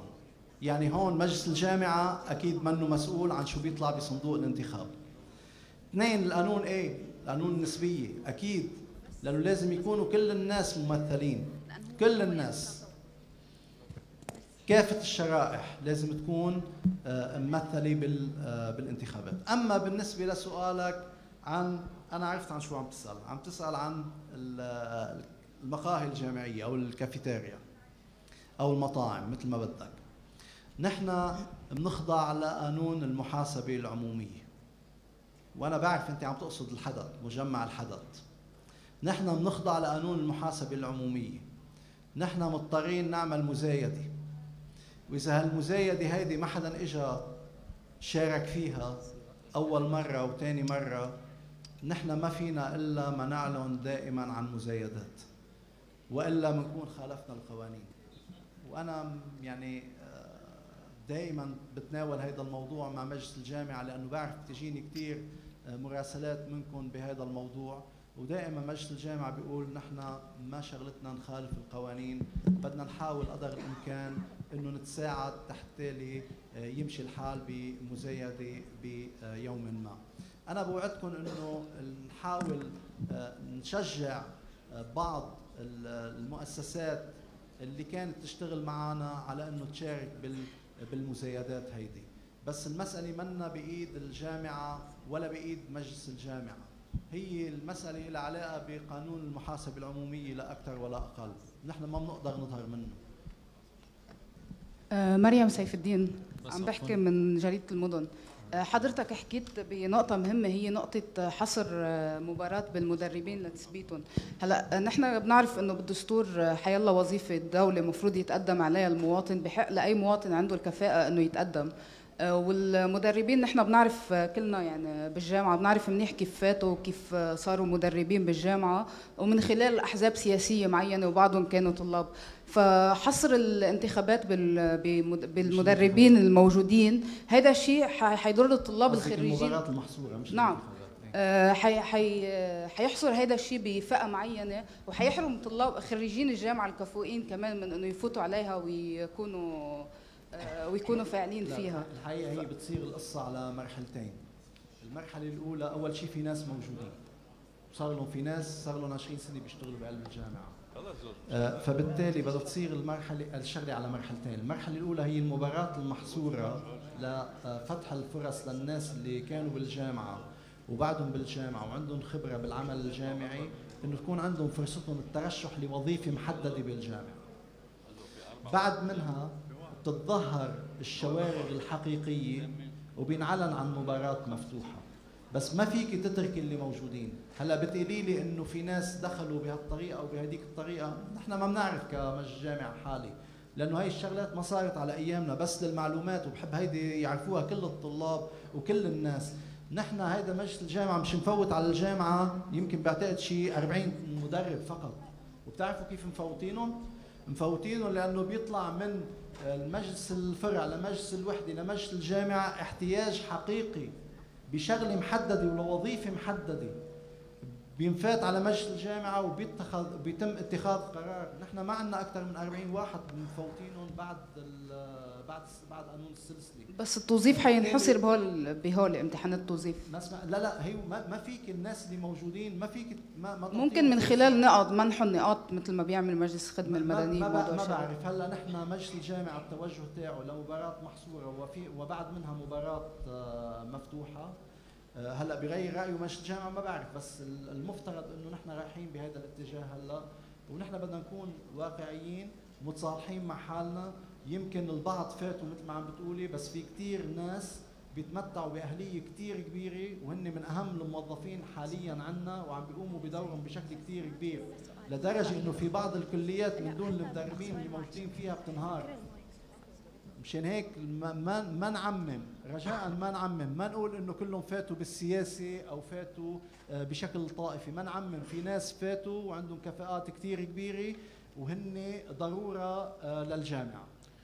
حضرة البروفيسور. بس بعد سؤال. هون موجود هون. آه، حضرة البروفيسور يعني هلا إذا بدنا نحكي شيء عم بصير حاليا هلا بالجامعة تم إقرار الانتخابات الطلابية. لنسلم جدلا إنه صارت مع إنه من هلا لآذار ما بتعرف شو بصير ممكن لا لا ما هي مش أكيد مش بآذار ما بعدني عم بحكي إنه هلا لإخر آذار ليطلع قرار عن مجلس الجامعة. بعد عنا الأشياء اللي اللي طالبينها بعض الجهات الطلابية معك. لحتى نقدر نحضرها يعني أنا تكون واقعي آه، تناولنا هذا الموضوع مع مجلس الجامعة ونحن باعتقادنا ما رح تقدر تنجز الانتخابات قبل آه، تشرين آه، تشرين الثاني 2019 بس المهم إنه بسنة 2019 نحن مضطرين نعملها بسنة 2019 بس بنرجح إنه تصير بتشرين الثاني 2019 لأنه حسب آخر جلسة لمجلس الجامعة التواريخ اللي ماشي فيها مجلس الجامعة آه، رح بتوصلنا نعملها يعني بحزيران مش ما عادش طبيعية. فبالتالي من الطبيعي بتصور تصير مثل ما القانون اللي مطروح كان سابقا بتشرين الثاني. طيب. لنسلم جدلا إنه صارت الانتخابات لأنه أنا سؤالي بالانتخابات بحد ذاتها الورقة البيضاء الورقة البيضاء هل بالقانون حتعد ورقة ملغاة ولا ورقة تحسب ضمن الوراء البيض؟ هي أولا.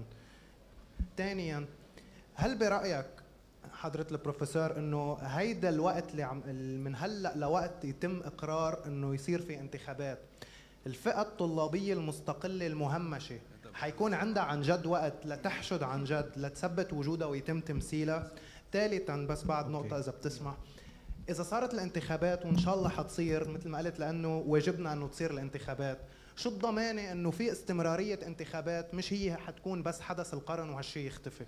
يعني سألوني هذا السؤال قلت لهم مني فاطمة البصارة ما بقدر أتوقع. أنا مش يعني ما فينا نتوقع. بس اللي بدي أقول لك إياه إنه اليوم مجرد ما هيدي الخطوة مشيت أنا بتصور الخطوات اللاحقة رح تمشي وبرجع بكرر لك مش برضانا يعني نحن مضطرين نمشي بالانتخابات دائما ومضطرين إنه يكون في عندنا شركاء بكل المجالس الإدارية تاعت الجامعة على مستوى كل الإدارات يكون عندنا آه، ممثلين عن الطلاب. اللي بدي أقول لك إياه هو التالي الورقة البيضاء بمعنى الورقة البيضاء منا موجودة، كيف بتصير الورقة بيضاء؟ وقت اللي بتشحط على اللائحتين لأنه هي بده النظام الانتخاب بده يصير على أساس لائحتين مقفلتين. شطب على اللائحتين تعتبر ملغاة إيه، بس هي بيكون أوراق ملغاة مش أوراق بيضاء. يعني ما بعرف إذا مجلس الجامعة ممكن يترك مجال إنه حدا يحط ورقة بيضاء بس ما بعتقد بتزبط.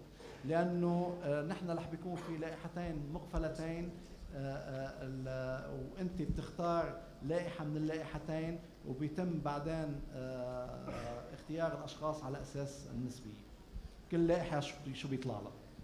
حضرة الرئيس بس في عندنا سؤالين. أول سؤال هل قانون النسبية اللي هو قانون الانتخابات اللي حيكون هل قانون النسبية حيحمي حقوق الأقليات بالأندية؟ أكيد. الأندية المستقلة يعني؟ خلينا خلينا نحكي بطلاب الجامعة اللبنانية. بس رح بيتمثلوا لا لا ما فيك تيجي تقيس انت قانون على ناس. نح لا بلا لا لا لا لا, لا. كل الناس موجودة الناس المفترض إنه تتفق مع بعضها وتنزل ضمن إطار لائحتين مختلفتين لازم كل الناس يكونوا موجودين. اليوم آه، ما فينا نحن نجي كمجلس جامعة نركب آه، قانون انتخابي على مقاس نادي. لا ما فينا فينا نعمل لقاء مع الطلاب وهذه نسيت لكم إياها. اول يعني فينا نعمل لقاء مع الطلاب بناء على طلب نادي من النوادي. بس مش غير هيك. وعلى فكرة في شغله أنا نسيت بلش فيها. بدي أقول إنه كيف صار هذا اللقاء. تعرفوا كيف صار هذا اللقاء. بيجي لعندي آه، شباب وصبايا من آه، نادي آه، سما. وبيقولوا لي إنه وبيقولوا لي إنه حابين نعمل لقاء معك. قلت لهم إنه أهلا وسهلا بس بفضل يكون اللقاء مع كل طلاب الجامعة اللبنانية. فما لقيتهم إلا بسرعة بلشوا يحضروا للقاء. فمشان هيك لقائنا اليوم معاكم وآخذ هالنجاح هيدا قد ما سريعين الطلاب أسرع منا يمكن أوقات بالشغل تاعهم. سؤال. سؤال بعد. تفضل. أه، توقفت الانتخابات الشكلية بكلية الهندسة السنة الماضية. أيوه. بدون أي تبرير. أوكي. وشو أه شو اللي سمح إنه تصير الانتخابات برومي بس؟ ما بعرف. ما بعرف ما بقدر جاوبك لأنه ما عندي الحيثيات كاملة حول حول الموضوع. أنا باعتقادي مش انتخابات بمعنى الانتخابات صارت لأنه ما بتخضع لأي قانون. هي عملية داخلية ممكن تكون صارت من خلال اختيار آه، عرف الصفوف عريف الصف. لا أكثر ولا أقل بس إنه صار في انتخابات بمعنى الانتخابات ما بعتقد. شكرا. أهلا وسهلا. إيه عفوا. تفضل. هي بس دقيقة مش أكثر. آه، أول شيء أول شيء بدي أتشكر نادي السما على دعوة الجمعية اللبنانية لديمقراطية الانتخابات اللادي آه، وبتشكر حضرتك دكتور. آه، في شغلة كتير أساسي حضرتك ذكرتها. كتير مهم أكيد إشراك الطلاب والطالبات بالعملية الانتخابية. بس إذا فينا شوي نرجع لورا كتير مهم إشراك الطلاب بعملية إقرار القانون الانتخابي والنظام الانتخابي قبل اليوم الاستحقاق. و... رجع وهيدا بس اللي بس رجع قال لي إشراك شو؟ إشراك الطلاب الأندية المستقلة وغير المستقلة والأحزاب لا لا، كافه دغري- دغري بجاوبك. هلا- هلا. بعمليه بعمليه بعملية إقرار القانون الانتخابي أكيد- هو أكيد جزء لا، أكيد لا. جزء من هيدا البروسس أكيد كامل أكيد سوا لا أكيد لا أكيد آه. لا أكيد لا أكيد لا هيدا ال- هيدا ال- ال- ال- النظام الداخلي بيعمله مجلس الجامعة ومجلس الجامعة هو اللي رح بيقوم فيه وبس يطلع عن مجلس الجامعة يطبق على كافة الناس ورجاء ما نتعاطى مع العملية وكأنه هي العملية لها علاقة بنوادي ومجموعات بطبيعة الأحوال. سياسية وما شابه خلونا نتعامل مع الموضوع بع- ما هواجسك بعرفها نحن خلونا نتعامل مع الموضوع على أساس إنه هيدا موضوع طالبي بامتياز مظبوط. واللي بينجح تاني يوم بنبارك له مين ما كان يكون هيدي الطبيعة الطلابية وكلنا كنا طلاب وتاني يوم بنبارك للأشخاص اللي نجحوا مين ما كانوا يكونوا وما نبلش نشتغل على أساس إنه يكون في تميز لفئات معينة على حساب فئات أخرى أكيد. إن كان نوادي مستقلة أو لا وبرجع بكرر هيدي صلاحية مجلس الجامعة ومجلس الجامعة بإذن الله رح بيعمل الشيء اللي لازم يعمله ورح بيقوم بواجبه بالكامل وأنا واثق بأنه بآخر أذ- آذار رح بيكون في عنا آه، نظام داخلي آه، مميز لأنه اللي موجودين بمجلس الجامعة صدقني مميزين. ما في شك ما في شك من هيدا من هيدا الموضوع بس في شغلة ثانية أساسية. آه، من هون الجمعية اللبنانية من أجل ديمقراطية الانتخابات اللادي مستعدة تقدم أي دعم تقني آه، لكافة المرشحين بلا أي استثناء وبطبيعه الأحوال للاداره آه، اللي بتراقب الانتخابات واللي هي مخولة كمان تحط النظام الانتخابي. ومستعدين حتى إذا إذا بحال أنتم بترضوا نراقب الانتخابات بكل المراكز. عم نحكي ب 53 مركز. بطبيعة الأحوال هيدا بشكل 53 مجاني ل 56 100% حسب بعدين بقرر مجلس الجامعة. لأنه مؤمنين جدا إنه 80 أكثر من 80 ألف طالب فيهم يكونوا مثال أعلى يحتذى به لكل الجامعات الخاصة بلبنان وأنا كمان مؤمن وأنا مؤمن مثل ما أنت مؤمن إنه طلاب الجامعة اللبنانية هن طلاب مميزين وبيمارسوا الديمقراطية بأعلى درجاتها، لا بل عندهم ديمقراطية جديدة أنا دائما بحكي فيها هي الديمقراطية التعاضدية، أنا ما شفت طلاب بيتعاضدوا مع بعضهم من أجل مصلحتهم العامة مثل طلاب الجامعة اللبنانية. وأنا دارس بأكثر من جامعة ودرست بأكثر من جامعة وبعرف أهمية هالشعور هيدا التعاضد اللي موجود عند طلاب الجامعة اللبنانية. يعطيك العافية دكتور. شكرا لكم جميعا. بس آخر سؤال لو سمحت. حسين عسيلي رئيس مجلس طلاب كلية الهندسة؟ ما نحكي ما نحكي هون بصفتك الحال طالب مش بصفتك أوكي طيب ماشي مش مشكلة مش مشكلة مش مشكلة. بس أنا عم بحكي كمرشح آه، هلأ حيترشح. ما ما كمان مش بهيدي الصفة. أنت طيب. هون موجود بصفتك طالب طيب. لا لأنه هو ضمن السياق اللي بدي أسأله. تفضل. لقاء رئيس الجامعة اليوم كرمال الانتخابات هو عبر نادي سما. هو أحد الجهات اللي راح تخوض الانتخابات.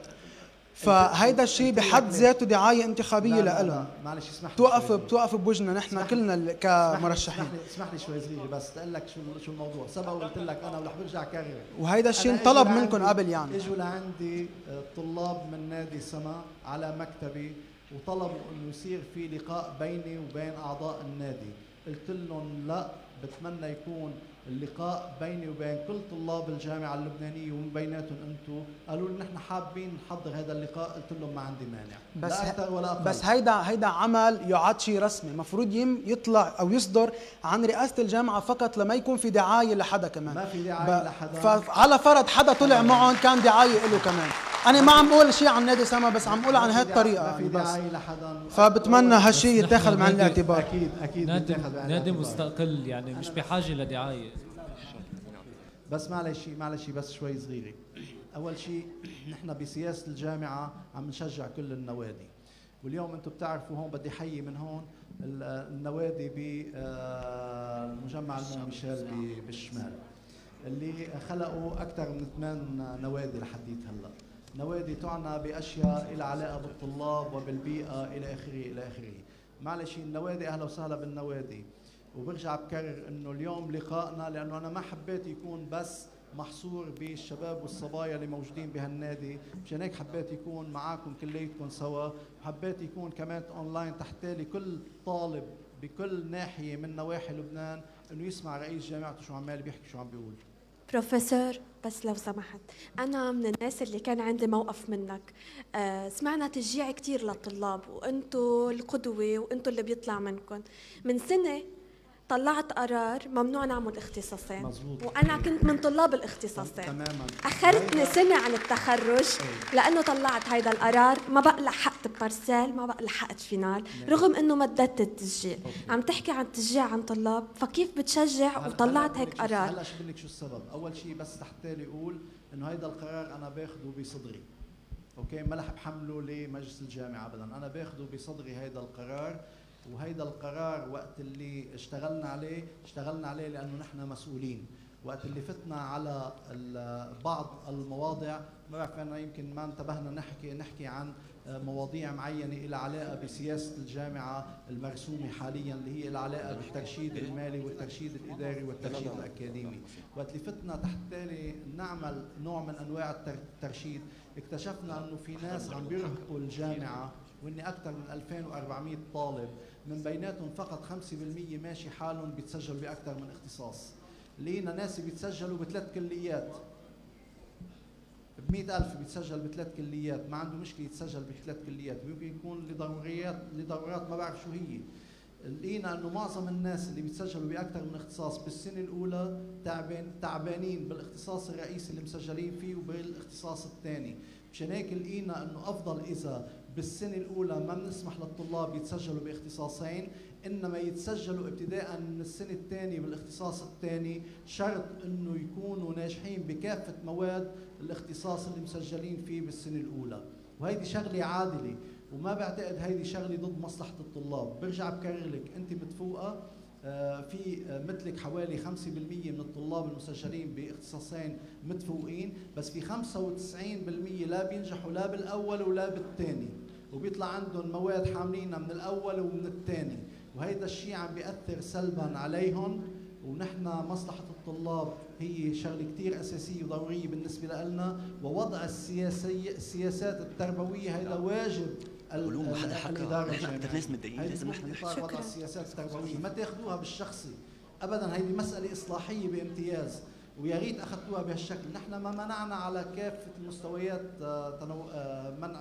منعنا التسجيل باختصاصين، نحن فقط بالسنة الأولى لا أكثر ولا أقل، وأنت مرقتي بالسنة الأولى، أنت ما تعبتي بالسنة الأولى وقت اللي كنت بالاختصاصين؟ هلا تعبت بس كنت قادرة أقسم بس. كمان بنفس الوقت كمان خالفتي القوانين الجامعية لأنه بمحل ما حضرتي كثير إيه بينما لأنه هو بحسب نظام ال LMD والمراسيم المفترض إنه الطالب يحضر يحضر ببعض الكليات 60% وببعض الكليات 80% وفي كليات 90% وفي كليات ال 10% حتى بده يكون في أذن شرعي للغياب. sorry دكتور بس تفضلي. أنت هون عم تحكي عن ال LMD حضرتك.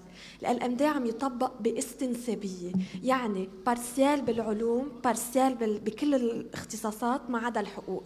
نحن بنروح على ال final عمية يا بننجح يا بنسقط فشو هالاستنسابية هيدي بال partiel يعني أنا أنا بدي أقول لك ما بعرف اذا إذا سمعتي خطاب التسلم والتسليم تاعي من من سنتين ونص أنا أول شيء انتقدت النظام أو بعيد الجامعة.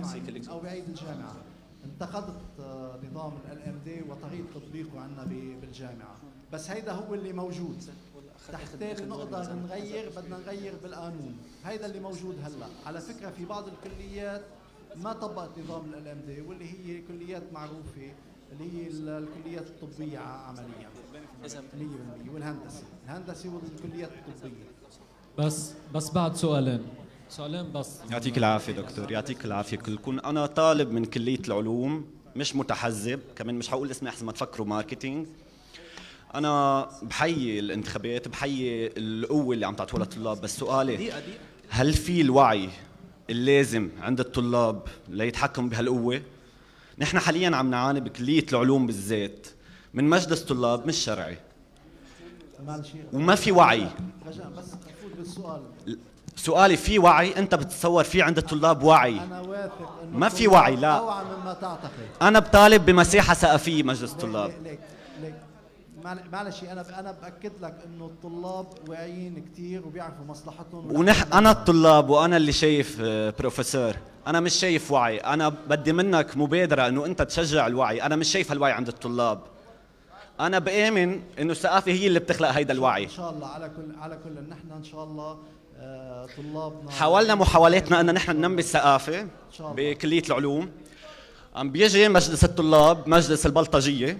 اخ لا. بينزل ما المعروف. لا بيخل إذا لا إذا- لا. إذا- مجلس الطلاب نزل إذا- يتبلطج علينا. لا على خلفية بوست سياسي عندي على صفحتي على الفيسبوك وما كان خصه بالثقافة. إذا بتريد إذا بتريد إذا بتريد إذا بتريد إذا بتريد ما له معروف، بس لحظة. إذا بتريد بس رئيسنا. أنا بأسف أنا بأسف لخطابك البعيد كل البعد عن. الثقافي وكل البعد عن الرشد عندك عندك هيدا اجتماع للطلاب ما بتكون عندك. ما بتكون بهالطريقة فيك تبعت في في صندوق شكاوى فيك تبعت شكوى محددة. ويكون أكيد الإدارة الجامعية بتتصرف وبتبعت بس مش بهالطريقة هيدي أنت هلأ عم بتهين كل طلاب الجامعة اللبنانية بدون ما تشعر ماشي ماشي. رئيس الجامعة بس. لا رئيسنا لا خليه قاعد أهلا وسهلا. يا دس- حاضر بروفيسور. خليه قاعد أهلا وسهلا فيك. ليش بدك تروح؟ أهلا وسهلا. حاضر بروفيسور. يعطيك العافية. تفضل. معك حسن كسروان من طالب بكلية العلوم. أهلا وسهلا. اولا بس كرمال يمكن في حضرتك ما وضحتها بس المفروض يكون كل الطلاب بيعرفوها وأنت أكيد بتعرفها إنه في قرار آه، بنص على شرعية المجالس الممدد لها في قرار النسيان صراحة شو أكيد. بس أكيد أنتم بتعرفوه قانوني قانوني صح وضعهم صح صح طبعاً. هذا مش سؤالي بس ردا على الشاب لأنه الظاهر لا لا في لا ما جو قلتوا قلتوا. هيدا قلتوا هاي واحد.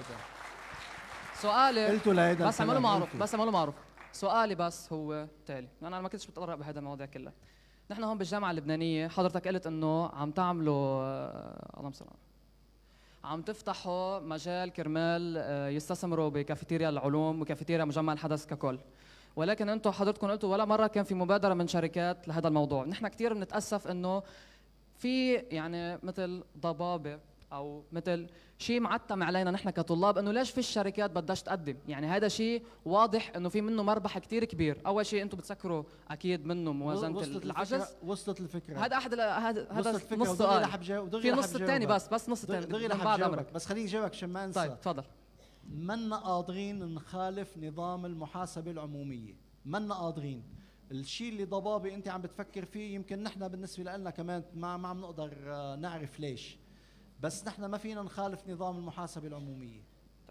الجزء الثاني من سؤالي إنه أنتم بتعرفوا إنه في بمجمع الحدث في شركة خاصة هي متعهدة بصيانة المجمع إلى آخره.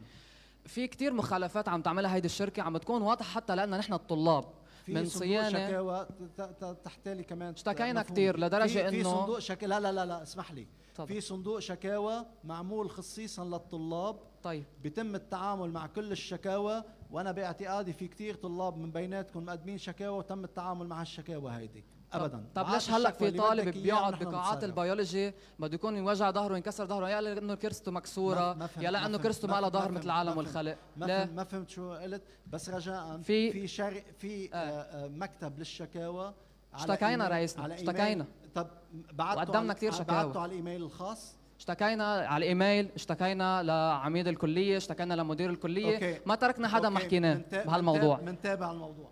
يعطيك العافية. شكرا كثير طيب. شكرا كثير لكم. شكراً مكتب كتير. الشكاوى بريد الكتروني فيه. شو؟ إيه. okay. لا ما